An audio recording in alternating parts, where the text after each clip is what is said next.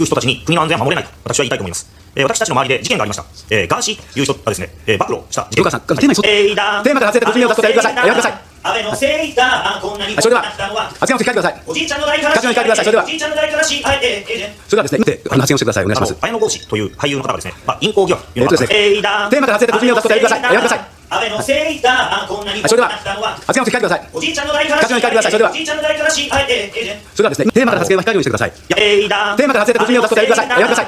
安倍のせいだ、こんなにはいそれでは発言をして書いてください。おじいちゃんの代から発言を書いてください。それでは。おじいちゃんの代からし、あえて、え。ーそれではですねこれは安全保障のためにですね、やっぱり嘘をつくことはダメだと。インターネット上で、えー大変に大騒ぎになっている、えー、綾野剛氏の問題について、えーマスメディア、社会ではテーマから外れてです。ねえーだテーマから外れたご記名を出すことをやめてください。やめてください安倍のせいだ、こんなにはいそれでは発言をして書いてください。おじいちゃんの代から発言を書いてください。それではおじいちゃんの代からし、あえて、えーそれではですね個人の名前を出すことを控えてください。そして質問してください。はい。発言を書いてくださいそれではおじいちゃんの代からし、あえて、えーそれではですねこれでは、えーインターネットで大騒ぎになっていること、また、淫行疑惑というのはですね、えーしかもそれが、えーご本人が顔出しで証言をして、えー実際にあったと、えーそういうことが他の女性に起こらないように、えー自分は勇気を持って発言したと言ってるんですね。発言を書いてください。それでは。おじいちゃんの代からし、あえて、えー。それではですねそういうことが起こっているにもかかわらず、権力を持っている人たちは、そういうことを、やっぱり今、もみ消そうとしてきたという事実があります。えーそういう、本当に起こったことを権力者がもみ消すような国で、はい。発言を止めてください。と思い。ます。は。い。発言を書い。てください。それではそれではですね発言を書い。てください。それではそれではですね発言を書い。てください。それではそれではですね発言を書い。てください。それではそれではですね発言を書い。てください。それでは